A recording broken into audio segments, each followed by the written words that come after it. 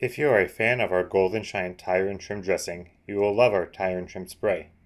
The Tire and Trim spray features the same long-lasting formula found in our dressing, but it is now available in a spray variety. The spray is excellent for protecting larger surfaces and hard-to-reach places. The spray provides the equivalent of SPF 40 sunscreen, which is perfect for keeping tires, dashboards, and exterior trim pieces looking new. It will keep seats and door panels protected from the elements year-round. The spray has an alcohol and petroleum-free formula so it does not dry out tire and trim surfaces. The spray is easy to apply.